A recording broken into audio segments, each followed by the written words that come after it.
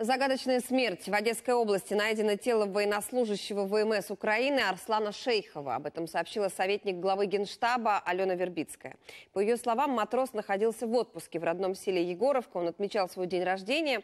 Позднее уехал со своим знакомым. А ночью односельчане нашли труп Арслана на улице. На теле следы от многочисленных травм, но судмедэкспертиза причиной смерти назвала алкогольную интоксикацию. Родные моряка убеждены, что Шейхова забили до смерти и даже подозревают местного жителя, у которого есть связи в правоохранительных органах.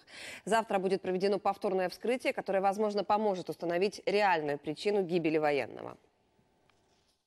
Человек, с которым он употреблял спиртные напитки, установлен. Мы не можем говорить, что он подозреваемый, пока судмедэксперты нам не дадут основную причину смерти. На сегодняшнее утро пока предварительная причина смерти – алкогольная интоксикация.